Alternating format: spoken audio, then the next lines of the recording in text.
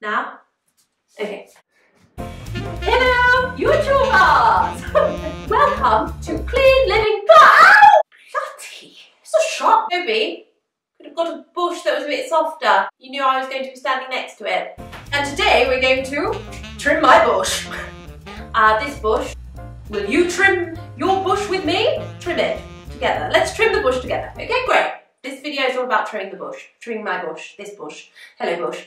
So it's a nice neat bush um, in case you have any people round. So they can say, oh, what a lovely neat bush you have. You're a handsome bush, aren't you? It's quite an attractive bush.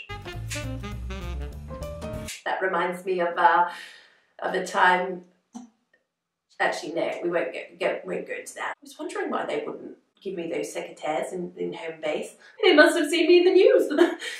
I'll have to go to a different one next time. Off track, off track, I've got off track. Back on track. To be honest, Sarah, I, uh, it's going to be a struggle today. I was on the Pinot last night. Actually, that would have been quite good. Oh, hello, Bush. Forgot you were there. Okay, let's get on with it. Trim the bush. Let's trim the bush. Uh, just little snips just to um tidy tidy the wild bush. It's not the 80s. lovely, lovely bush. That looks good. It's really, I find it really peaceful. Is that too much? Great, great.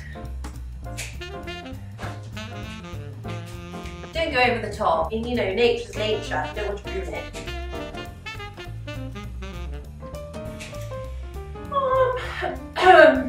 Why didn't you stop me? Toby, why didn't you stop me? I've got something, I'll show you. Just goes in there, really adds to it. Um, If you like this video, because uh, you know, I think we could all agree it was a great one, full of good advice, then do subscribe.